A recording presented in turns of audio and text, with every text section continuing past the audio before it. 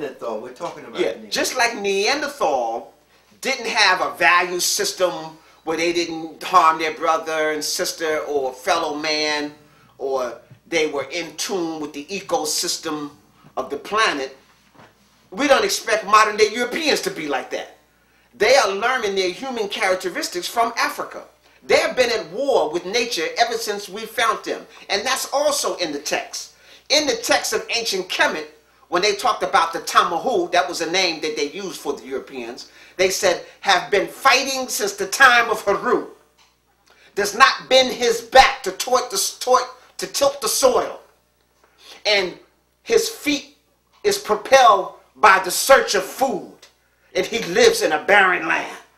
That's what the ancient Kemetu thought of the Europeans. That was their knowledge of them during this time, of the great civilizations of ancient Kemet.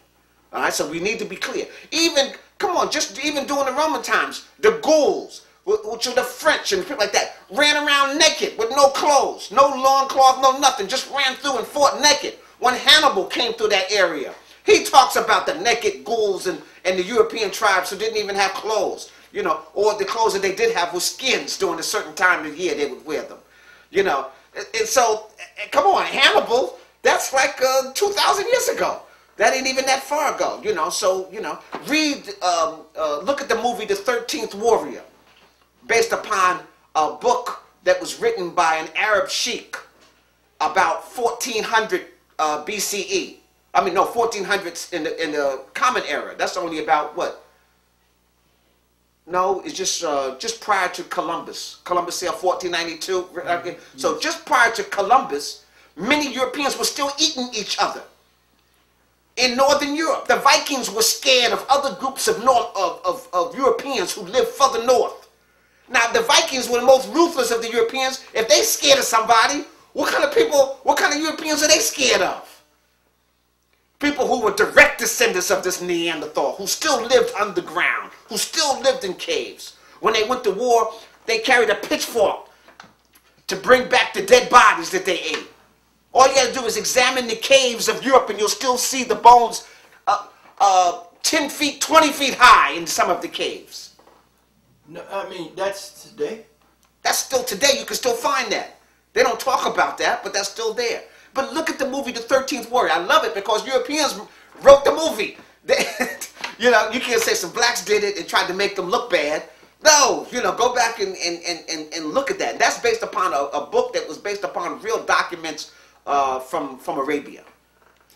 Can we segue now into Rome? Yes, let's- let's do it. Touch Let's- on let's- Greece and go right, let's touch into because Greece. now we're looking at the people who comes into Egypt, Right. and but so what I want to look at is who comes in and what did they contribute, if anything. But what what was it like? What was that interaction with the uh, Kemetic people, the Kemetic priesthood?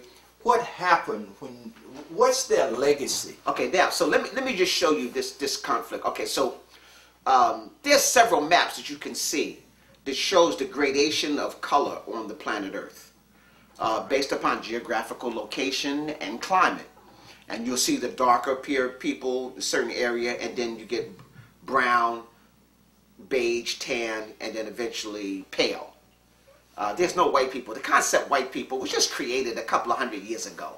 Uh, they pink and and um, and and a pale color, so they're not white. Okay, so that terminology of white people, you know, um, is a modern terminology. So I just need to make sure that that's clear for for people, you know, listening to this. Um, and then later they would to distort their books and make white pure and black bad when all of the ancient records was just the opposite. White is recessive, black is dominant. Black is beautiful. Like I said in ancient Kemet, to deify somebody and give them their greatest homage was to make them black. You know? Um, so you, you can see they just reversed all of this.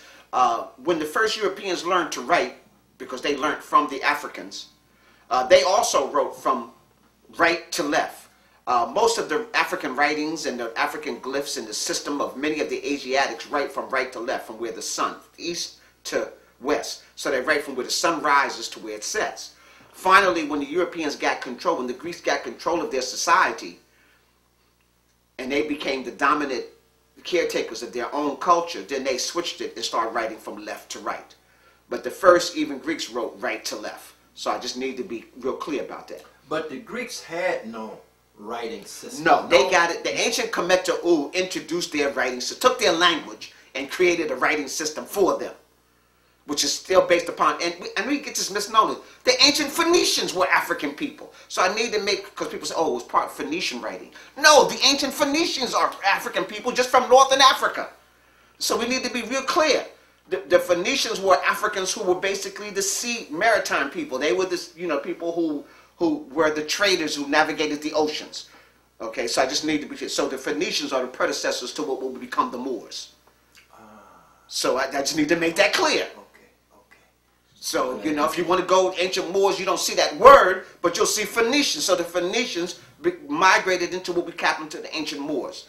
And then the Moors became more defined as the Islam rose because these Africans were converted to, to Islam. And then they spread the seas, you know, uh, and so that's Moors became attached to that.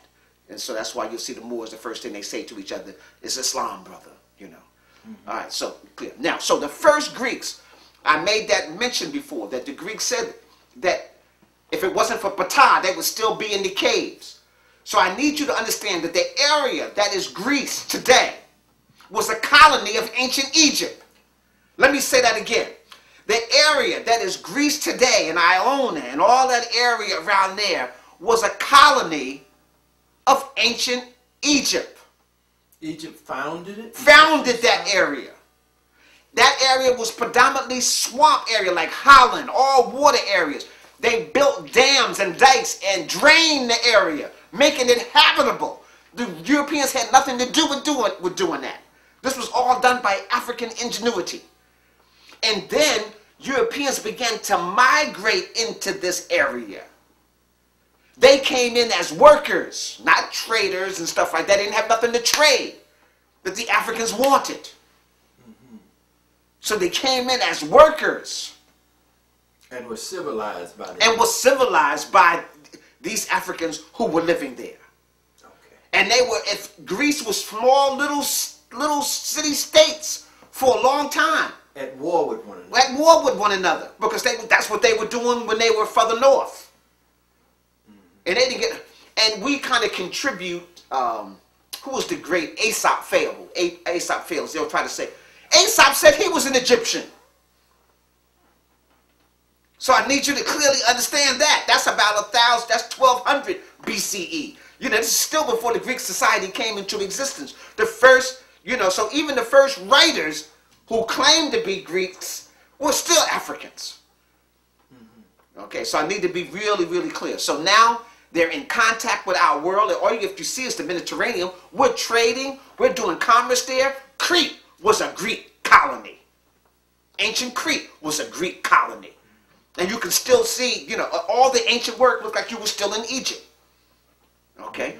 And which really not only was the colony of Greece, but was established by ancient Kush before Greece, before Kemet came into its total light.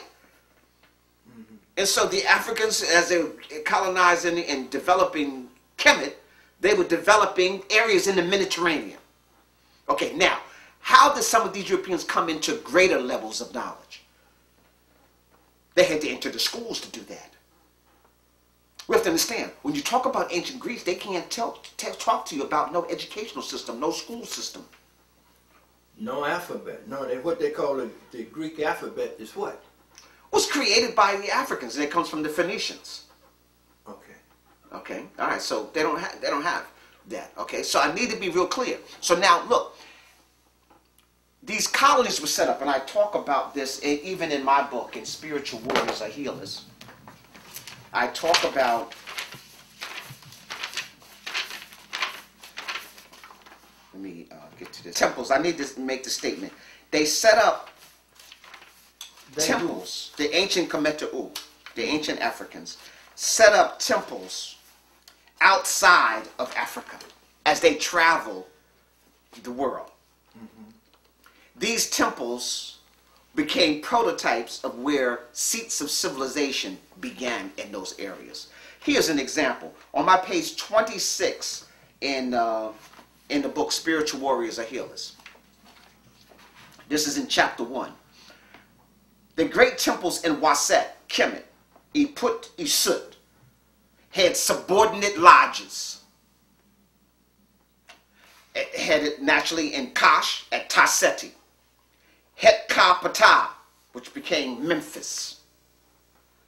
Um, in Mali, temples, which later became the Dogon Sea. In Zimbabwe, and I showed you the great ruins in Zimbabwe. Correct. That was part of the Kash Temple. Okay? And Monomotapa, Southern Africa. I showed you pictures of Monomotapa in Southern Africa. That's all part of the temples. In Ghana, among the Akan.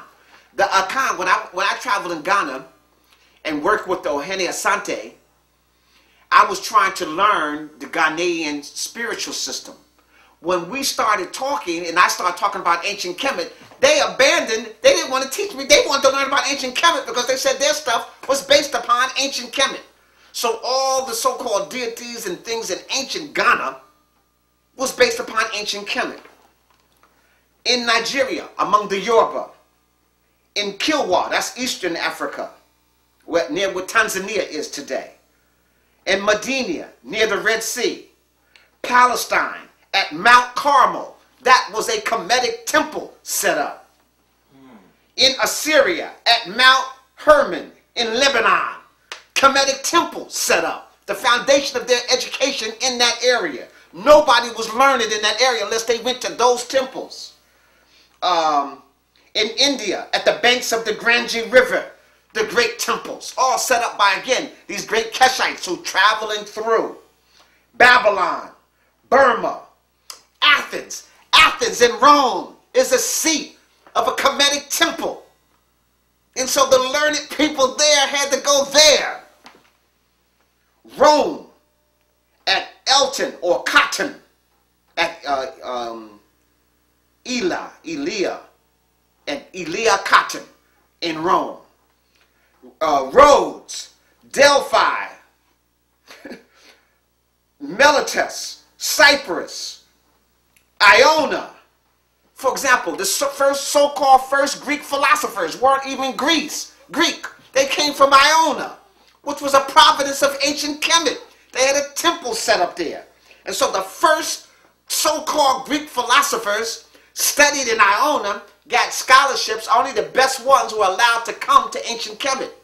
So you have people like Thales, T-H-A-L-E-S. Thales is the so-called the first Greek philosopher. 640 in, this, in, uh, a, in uh, a BCE.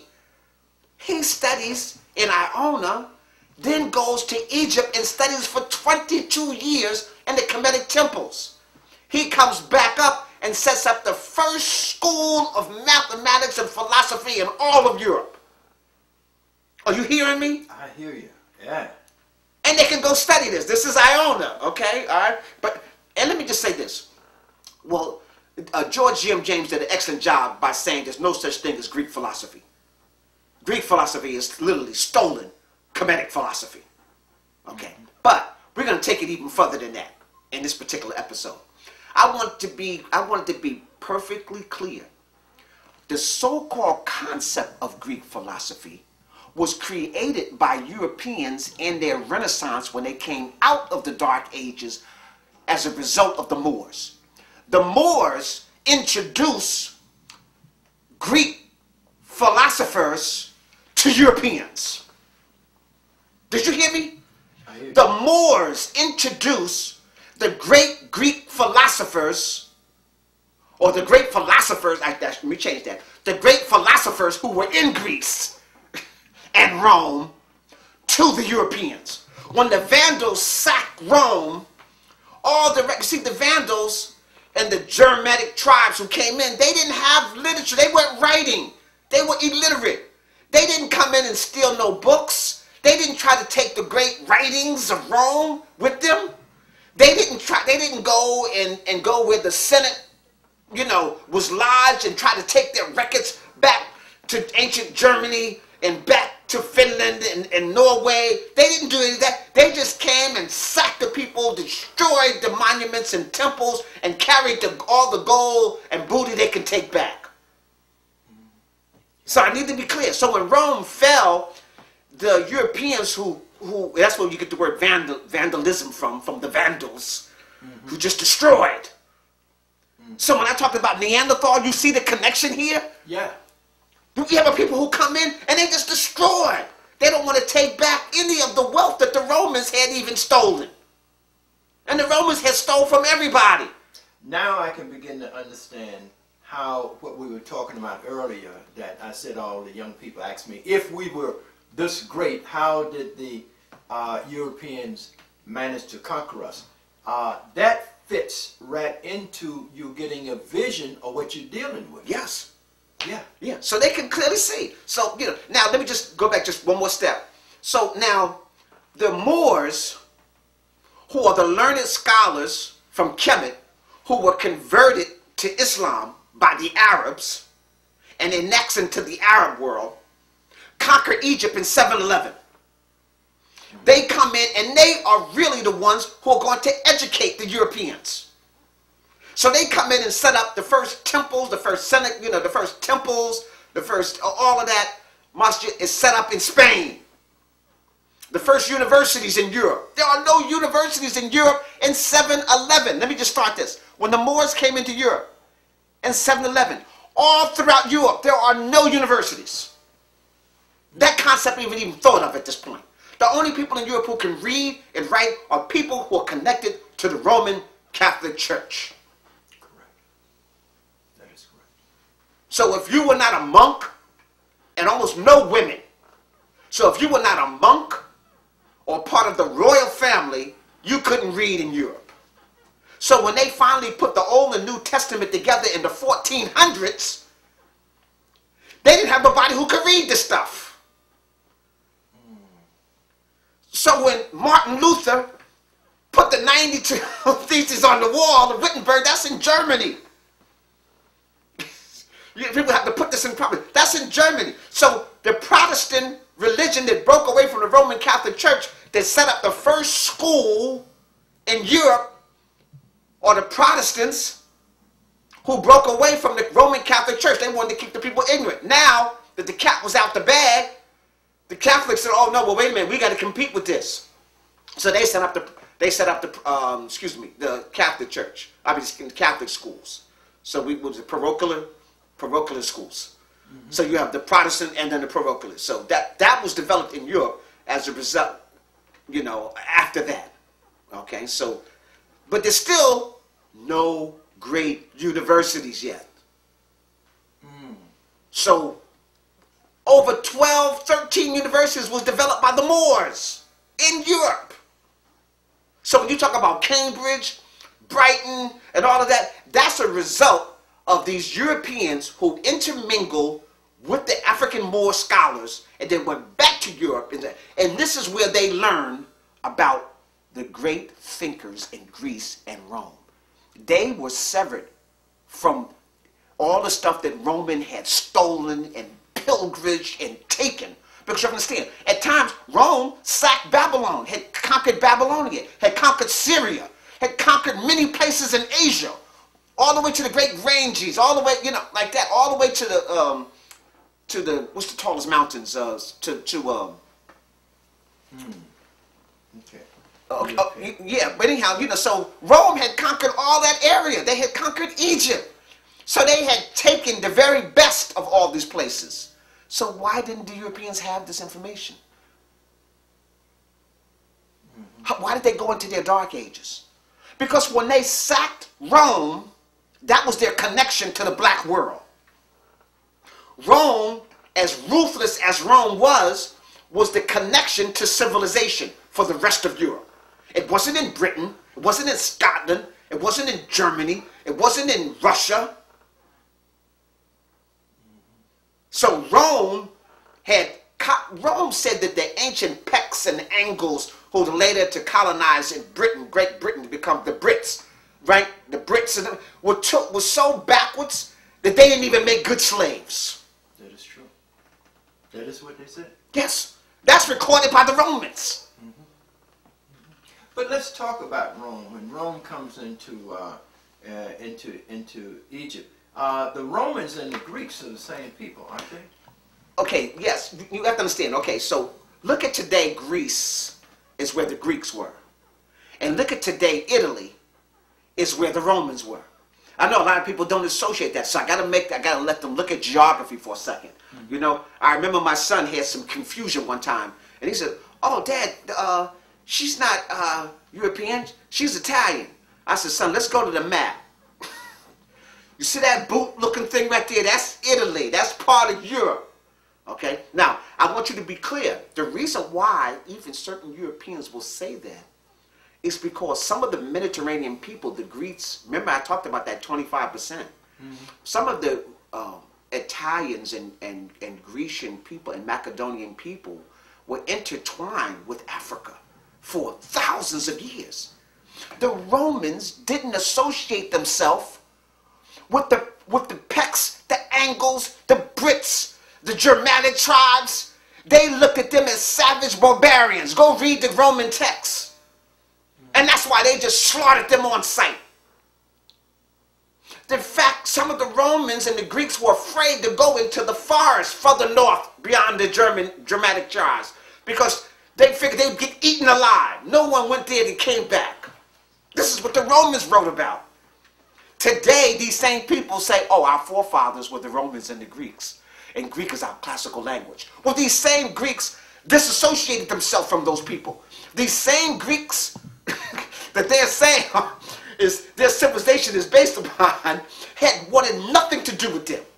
Looked at them as a total different people and despised them. See, so when the Europeans came into the Renaissance, they had to connect to something. When they came out of the Dark Ages as a result of the Moors, they got reintroduced to how powerful Rome was. They got reintroduced on the, the information that was in Greece. You understand, the Parthenon was just a ruins. The Roman Colosseum and all that was just ruins to them. Even during the Crusades, that was already sacked and ruins. So when the Crusaders went past that area, they didn't even put it together. A duh, uh, looked like there was some civilization here. No, that didn't even cross their mind still. And then you had small pockets. Now let me just say this here. The pockets of Europeans that did connect the dots then was looked upon as an enemy of the, of the church. And the church was in control.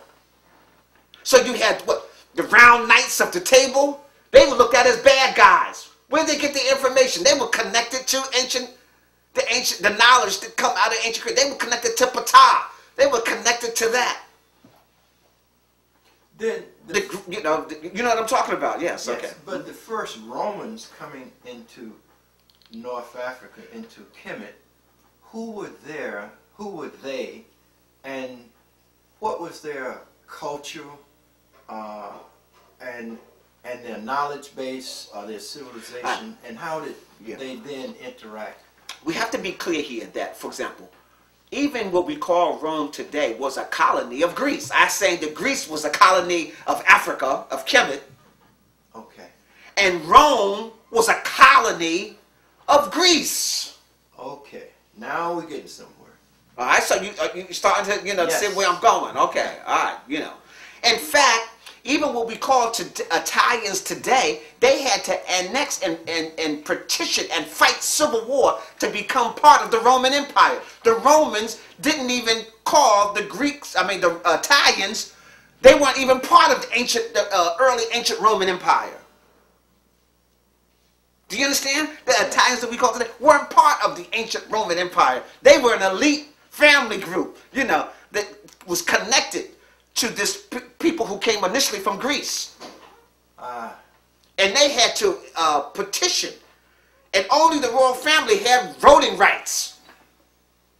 Now, who was the royal family? The royal family are family that were connected to the Africans and Greeks. So you have to be real clear. In fact, all of Europe's royal family, if you look at their family crescent, got some black person with woolly hair on it. The, the British royal family is connected to the German royal family from Bavaria. The Bavaria royal family are the Moors. Ah. Yeah.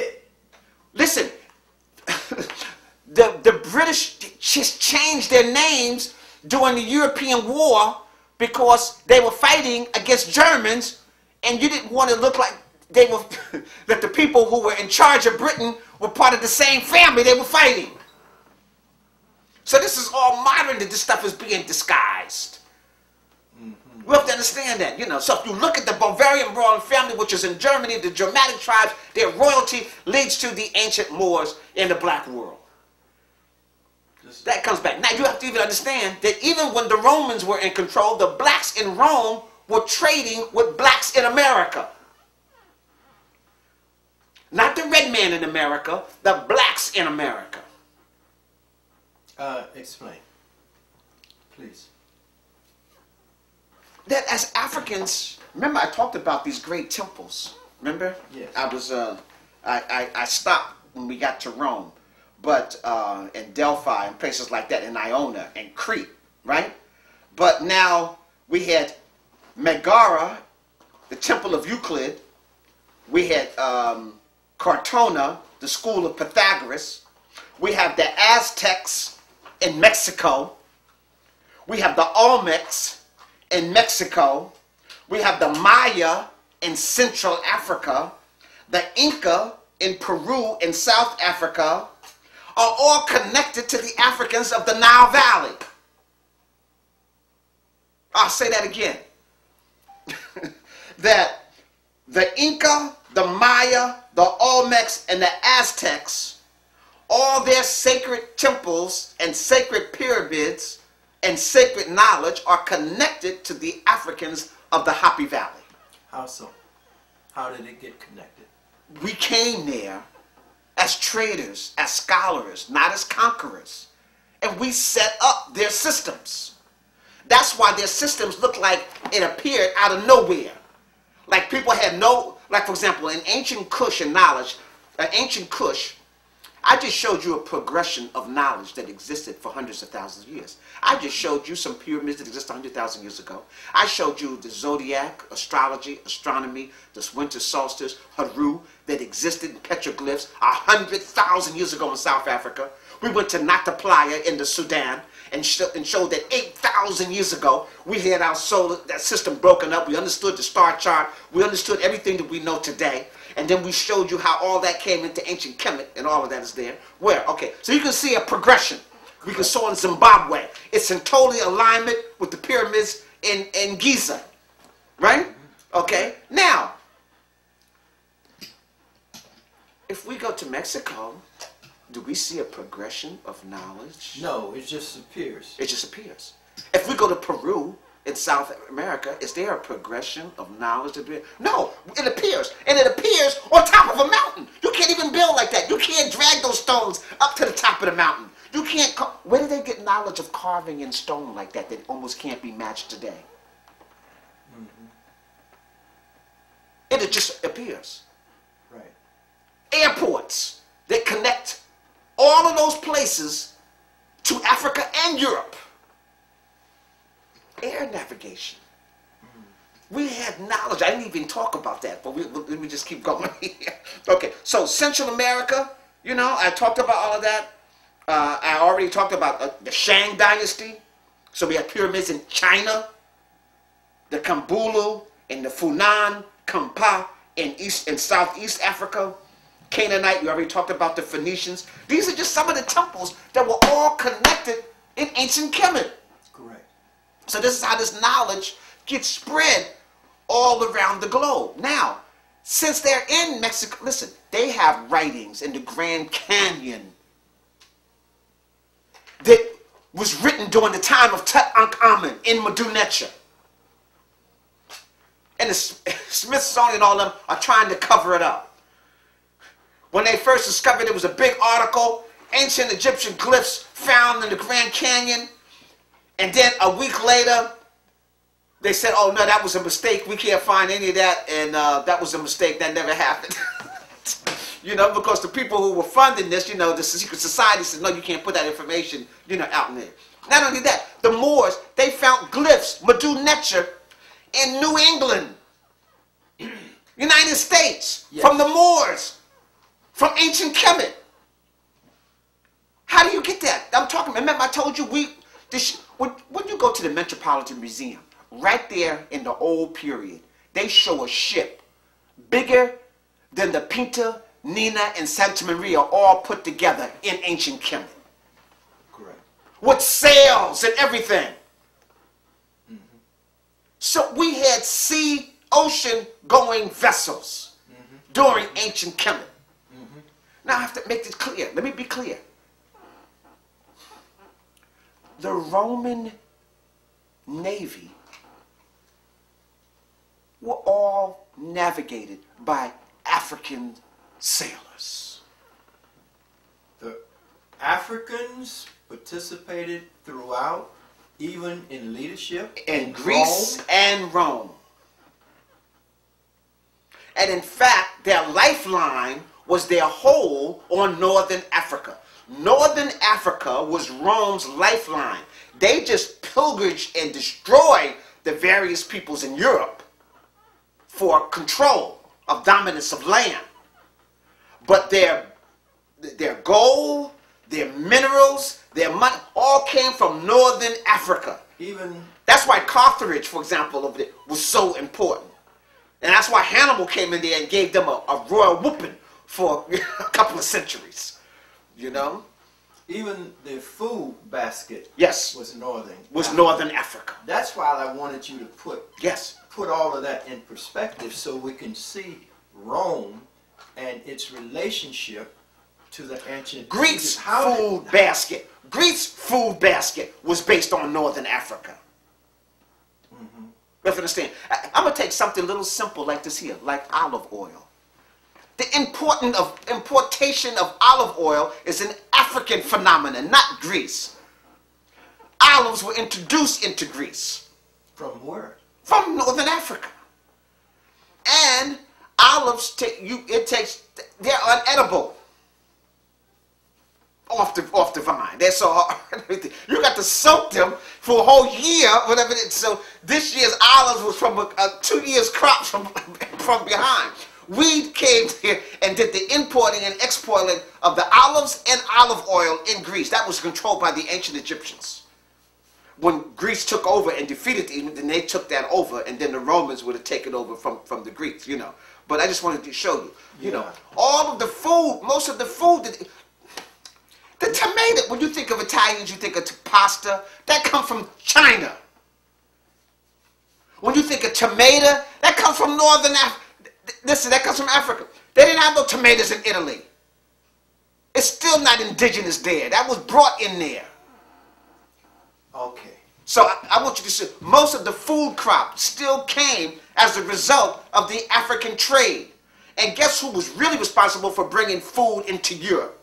The Moors. Because remember, when they went through their dark ages again, think about this, brother. I want to make it real clear so people think we're just not making this up.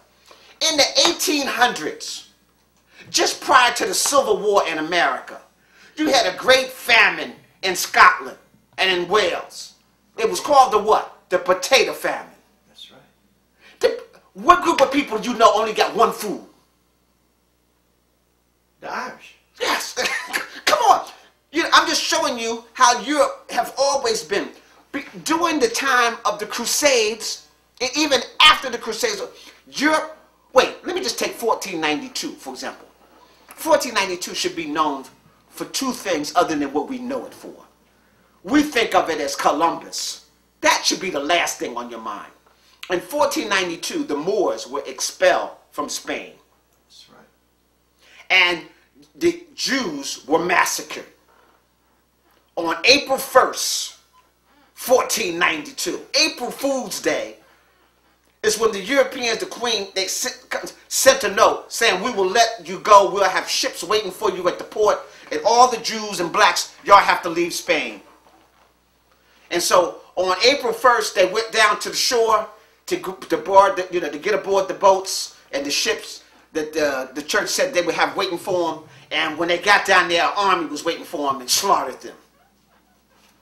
April Fools. Whose army? The uh, the European Crusade, the, the England, they England, France, all of them came together. It was the Catholic Church. Okay. The Catholic Church uh, mustered the army. Same people who like were in the Crusades fighting against the, the Muslims. Okay, you know. So they were waiting there, and they killed the, the the Jews and the Muslims. You know, and that was April Fool's Day. So we're celebrating April's Fool's Day. We're selling the decimation of uh, Hebrew and African people who were tricked that they would be allowed to leave peacefully and would be aided in their voyage. And when they got there, April Fool and And this was 1492. 1492. April 1st, 1492. So when we think of 1492, you shouldn't be, that shouldn't be a happy day. That shouldn't be a day of celebration.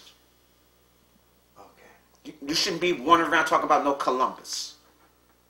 But now I'm beginning to see um, how the Greeks come into Rome, uh, come into uh, North Africa, into Kemet.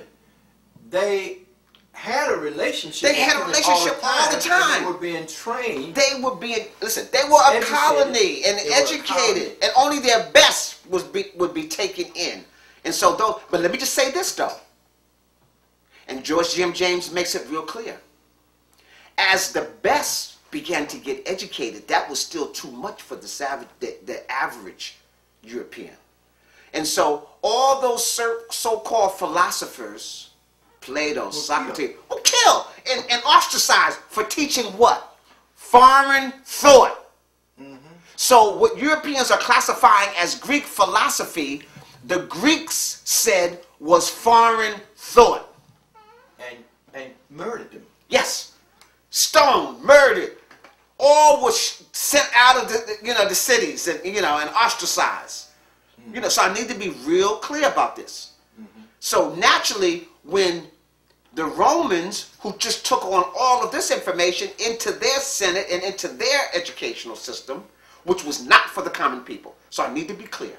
During the greatest of Rome, 95% of the population was illiterate.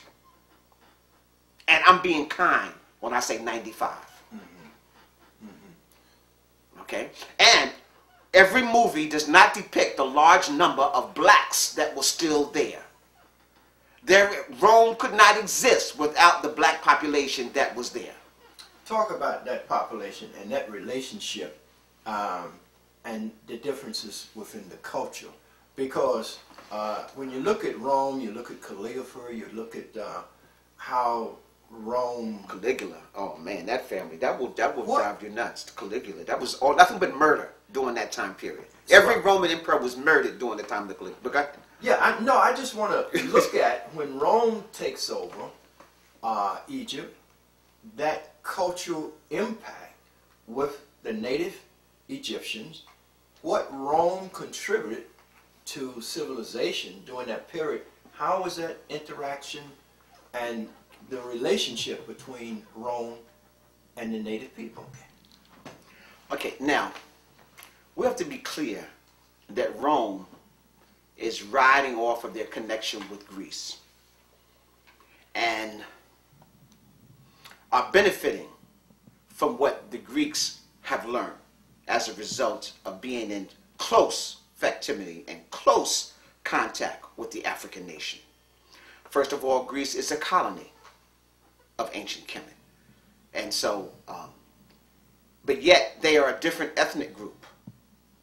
So we have to be clear. But they were not enslaved. Okay, so I'm just clear. Uh, the Africans taught them about the sea, you know, and travel and using um, through their Phoenician sleeps and through their boats and ships how to commerce. Because Greeks, Greeks become, they don't become relevant until they learn how to use the ships and go to the ocean. Because they don't have nothing naturally growing there. You have to be clear. Go to Greece today. you can still, there's still nothing basically there growing. They're depending upon an import for almost all their foods and natural products. And so the Africans helped them develop that. Right? So once they began to develop that, then the key is that Greece, because of their strategic location in the Mediterranean, became a trading port. So that's Greece's claim to fame, right? They are now a trading port. They've uh, the Macedonians became a great military power. Actually, the Mac- Macedonians are probably one of the first great military powers in Europe. Okay, the Macedonians of the King Philip, right, uh, will be will sack that those city states that are you know around Greece. So Greece is still not a power yet. Macedonia becomes a power first. Then the Macedonians annex all that that will become Greece. Under Alexander in 332, when he spreads across and conquers all of southern Asia, you know, all the way out to the to the Tigris and Euphrates, and, and all the way to the borders of India. That's the Macedonians. We just we call it Greece because the, the Macedonians annexed Greece. And the word Macedonia is kind of like falling from our vocabulary because whoever controls the situation defines the situation. When they rewrote the books, they gave Greece the glory as opposed to the Greek Macedonians. Because so even the first Ptolemies were Greek and Macedonian. Okay? Uh, and annexing under Greece. Okay? So Greece became the their, you know, their homeland. Okay? But Macedonia was attached to that. Okay? So now they're introduced, they have their first army. Alexander develops, um, Romans cannot defeat Rome. Rome is a small place and a, uh, not a major powerhouse during Alexander's reign. So they can't mess with Greece now. They're under the rule of Greece. Rome was under the rule of Greece. Now, Greek, the Macedonian Greeks are the powerhouse under Alexander. Alexander is undefeated as he travels all across southern Asia and then finally down into Africa. Like I said, when he came into Africa, he was on his way down to ancient Kush because he had heard there were no warriors greater than the ancient Kushites. This is what Alexander heard. When he was in India, the Indians told him about the ancient Kushites. Because at that time there was supposed to be two great black worlds. That which was India, and then that which was in, in Egypt and Kush. So now when he developed, when he conquered Egypt, Kush was waiting. And they came to the border near Abyssinia with elephants. And they were standing there. They were like, come on, we, you want some of this? And Alexander consulted the oracle, and the oracle said, you will lose badly. And he never went into ancient Kush. Okay? So I'm just trying to just trying to show you up here. Now, so let's move. So Alexander is finally poisoned. He's killed. Um, the Macedonians and then make a power play. So you had three great generals, and um, they kind of divide Alexander's empire up. One great general covers Asia, all the way out to Persia, that area there. Another one is in Egypt, and the other one takes to Macedonia and, and Greece. Okay, so Napoleon's empire is broken up into three areas. This makes the Romans easier to conquer them. Let me just say that. They couldn't have conquered Alexandria empire. But when Alexandria is killed, and the Romans, and then the, their empire is broken into three different facets, that allows Rome now to grow because now Alexander's empire don't have a grip on them anymore. And it's not controlling that whole known world. So the Roman Empire now begins to expand. Now let me just talk about, we talked about the Roman culture. Let me just talk about here. The Roman gods, Greek at the top of their uh, pantheon is Apollo. Yes. The Romans don't change that. They worship Apollo. The Greeks have Typhon, who represents Set, who later becomes the, like the devil comes up. The Romans don't change that. They got Typhon. In ancient Kemet, you have Aset. The Greeks have Demeter. And the Romans now have um, Ceres. Athene from Athenia, which was Neith. Minerva. The Romans have Minerva. The Romans have Famu, uh, um, Famuus, who becomes Pan. Pan is the great um, Greek philosopher that deals with neat. Then they have Zeus, but the Romans have Jupiter. Uh, Bastet becomes uh, Artemis, and the Romans have Diana. Hermes, the, uh, the group of knowledge. So the, the, in Kemet, you have Jehuti. The Greeks are to take Jehuti and turn him into Hermes. And now, watch this. The Romans would do Thoth and Mercury, where the word thought, to think, comes from. Comes from Jehuti, which comes from Hermes. So the Hermes texts, the books of Hermes, is the books of knowledge that the Greeks will, t- Romans will take. Those, see, they sacked the libraries. What you have to understand, what the Greeks did was sack the libraries. Mm-hmm. And then had the Africans translate the Medu Neter into Greeks.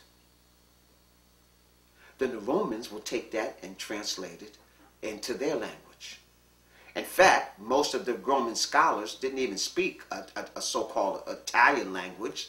They later spoke Latin, and which was also created by the Africans so that all of them can communicate.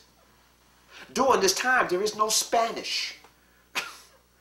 you know, so we have to be clear about this here. Mm-hmm. Those are all controlled by these, these, you know, these people. There is no French as we know it. Mm-hmm. Okay, so even Latin is older than all of them. In fact, the first Spaniards and French spoke Latin. Mm-hmm. You know, that became a, a language that pulled them all together. Okay, so you know, I'm trying to be. Uh, yes. Hopefully, I'm, I'm, yes. I'm, flowing here so that you know. So now that you know who the Roman gods were, that Mercury, that they was just Jehuti, mm-hmm. and Jupiter. You know, their greatest was just Zeus, who was Ammon. Zeus is Ammon, and Zeus and Jupiter have to go back to Ethiopia every year to be recharged. Now, why would your God have to leave your country and go to Africa to get recharged if that's where it's from? So the Egyptians, the, the Greeks got what they got, even their gods, from, Egypt, Egypt, from the Africans. From Kemet. And the Romans got what they got from the Greeks so the foundation is still African. Yes. Okay, let's go. Yeah. So you got to be clear. So even Jupiter and them have to still give homage to Africa. But this is Roman God. This is the, the head of their pantheon. All right. So you need to be, you know, you need to be really, really, really clear about this. So when they talk about Mercury, Thoth, and Hermes, that's just Jehuti. Mm-hmm. Okay. And all of their texts is the hermetic wait the hermetic knowledge so I'm, I'm, trying to pull the covers off of here now the hermetic knowledge hermes hermetic knowledge jehuti the 42 oracles of ma'at all comes from jehuti or ma'at and so that's their hermetic text okay which is the foundation of greek and roman scholars all comes out of kemet they don't have anything other to, to contribute to that so their contribution to civilization you can fit into a pinhead. Their Senate was an imitation, the Roman Senate is an imitation of the Greek Senate. The Greek Senate is an imitation of the priestship in ancient Kemet.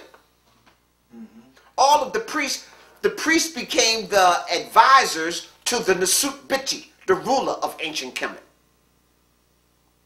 And so their Senate was trying to imitate that type of thing.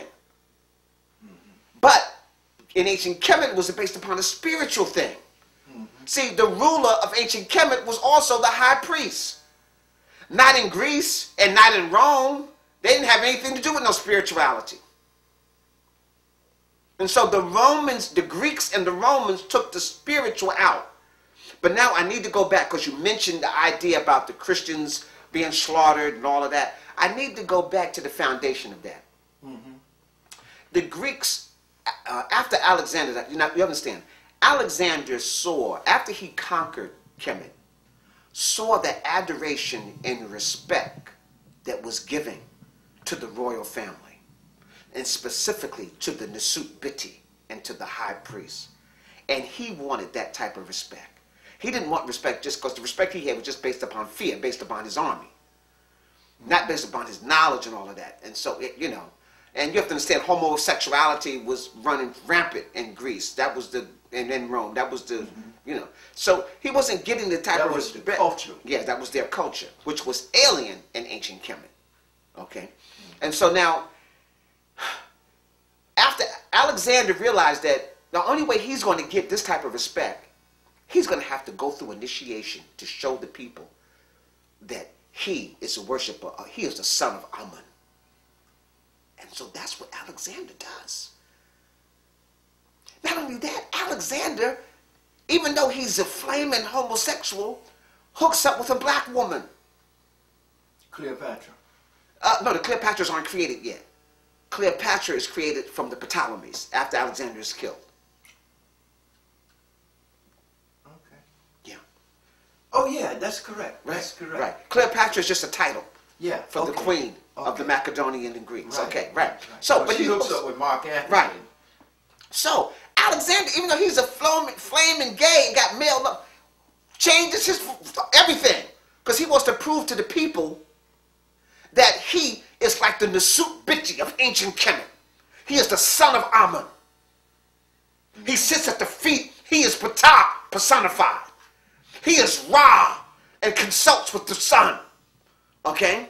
So now the, the, the white folks are just upset with this. So anyhow, they kill him. He's poisoned, right? and the Ptolemies is like, okay, now we, we ain't going through all of this. You know, we're going to close these temples. Alexander loved the temples. He visited all the temples he could. the Ptolemies is like, oh, no, no. We come here to rule, right? So after they close the temples, they take the books and they begin to recipher them into Greek. I already explained about the whole breaking into the dynasties under Manetho and all of that. Yes. But now, so Ptolemy the first, actually by Ptolemy II. he's saying, listen, and Ptolemy is just a title. You have Ptolemy Philadelphus, like the city of Philadelphia. is named after Ptolemy, a, a Greek king who was head of Egypt. I bet you the people in Philly don't even know that. Okay. okay, all right. So Philadelphia's okay. Ptolemy Philadelphia's okay.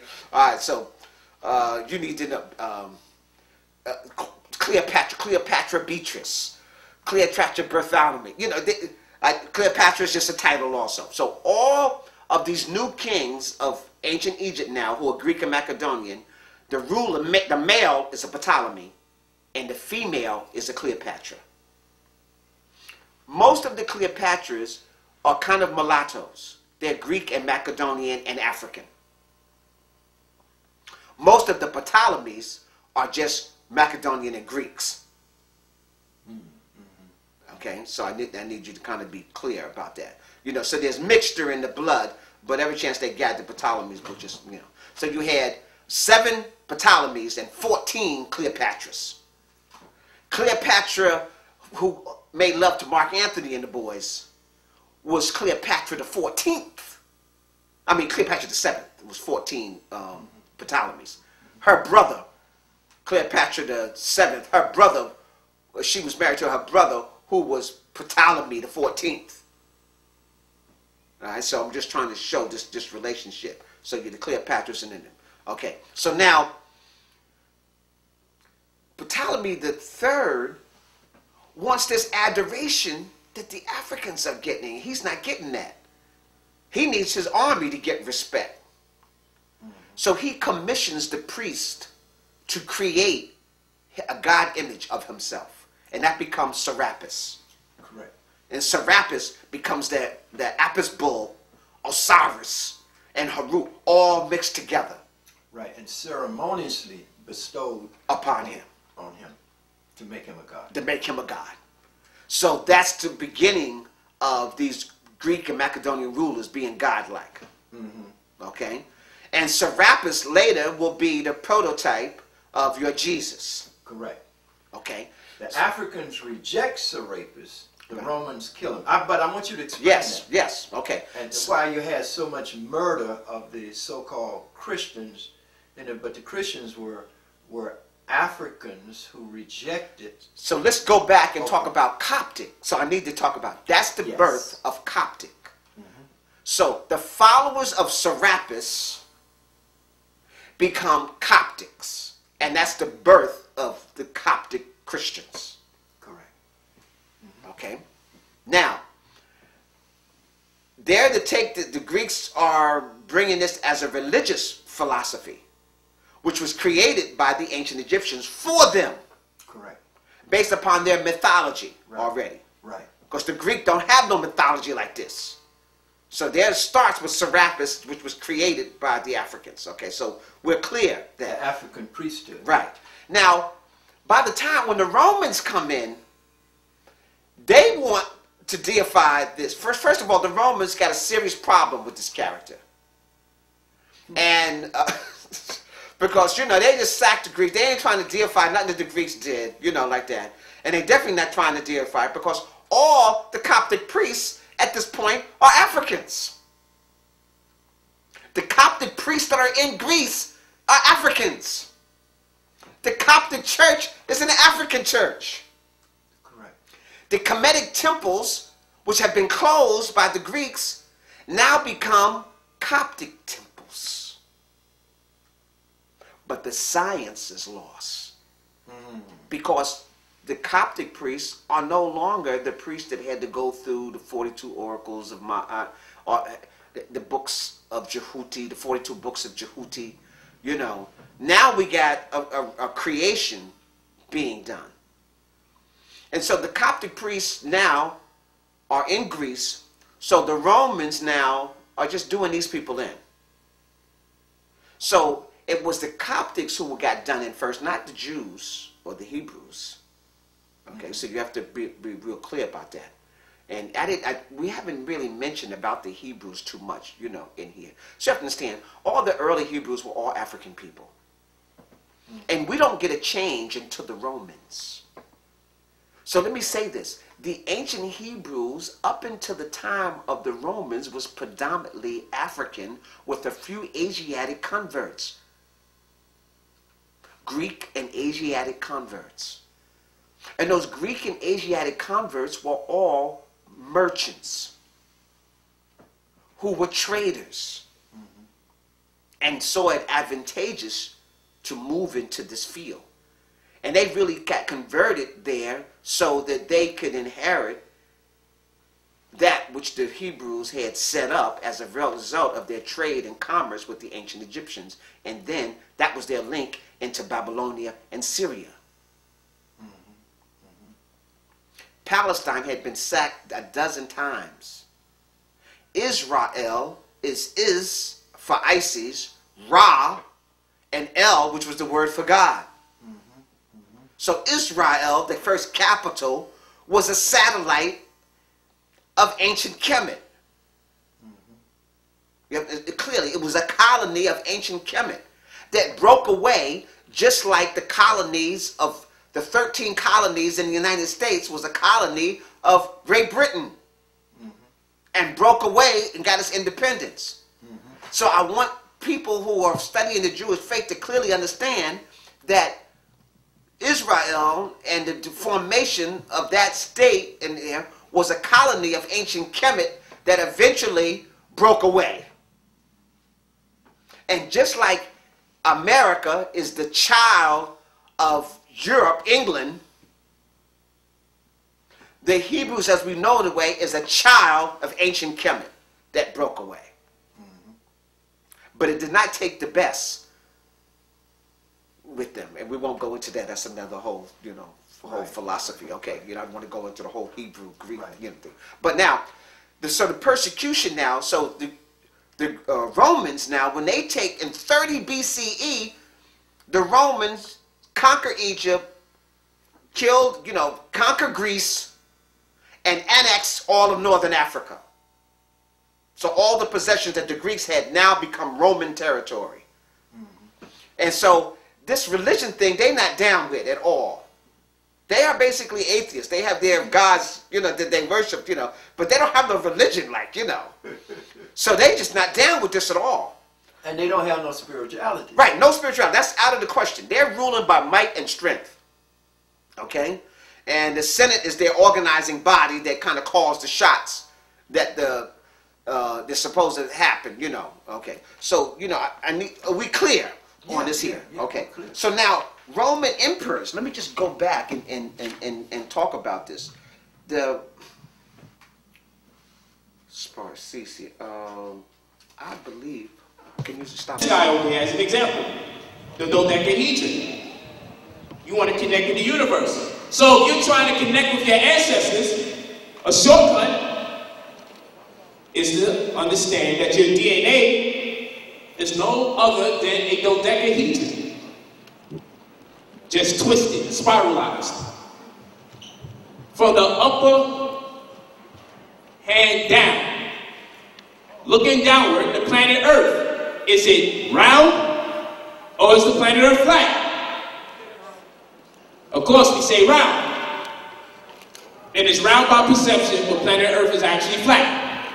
True. As science evolves, we learn new things.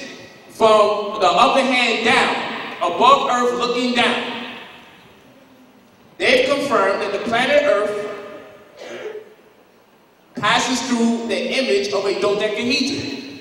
The planet Earth is a part of the DNA of the universe. So your DNA looks like this, but twisted, and your planet looks like this. So if you want to tap into universal energies, you may as well tap into the Earth's energies. If you want to connect with your ancestors, the energy that your ancestors passed through is the dodecahedron, one of the five platonic solids. Gotta understand the energy before you can utilize it. Gotta understand the energy before you can utilize it. So all of these, energy passes through these different types of polyhedrons or shapes. So if I want to access the universe,